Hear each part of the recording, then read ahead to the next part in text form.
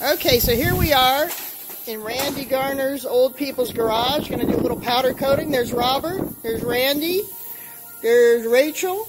Oh, who's that guy? Hello. Hey, Kevin. They got the powder loaded up here.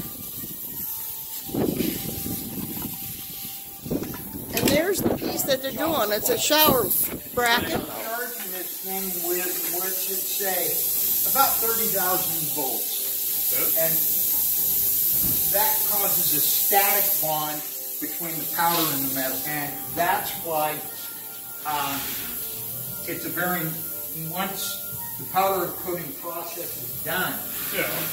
uh, it's a very non-porous system. That's your ground. Yeah. So this has got little metal thingies in here that are the uh, anodes. Charge it. Press on it, see how it just sticks to it? Wow. just That fast.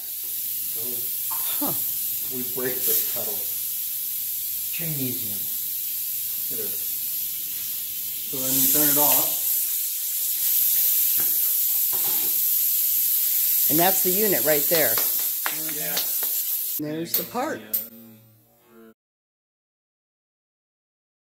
Very top. I can burn myself as good as anybody else. And then it's at what temperature for how long? Uh, 380 for about 20 minutes. Well, And the other thing about powder coating is when it's done, it's done. When you use a conventional urethane finish or something, you've got 24 hours till it's, cure, it's right. cure time. right. Comes out of the oven, it's cured. It's done. To take it out of the oven. Very Just nice. like that. We let it sit for 20 minutes to cool down to touch temperature. Cool. So what do you think this setup cost? $40 for a used stove. Yeah. At a thrift store. Yeah. And this was kind of expensive. I mean, it was really cheap because it's Chinesium, but it's a was like a hundred and forty dollar powder coating unit. Well, But it's got adjustable voltage, so depending on how big a piece, you can adjust it so that you're getting ample uh, magnetic, you know, electronic huh.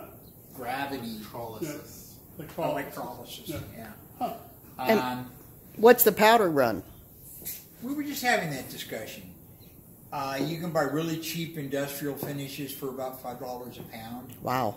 Seven. seven dollars a pound.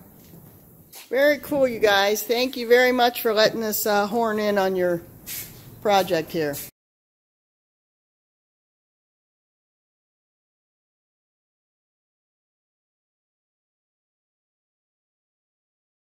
Honey, guess what I want for Christmas?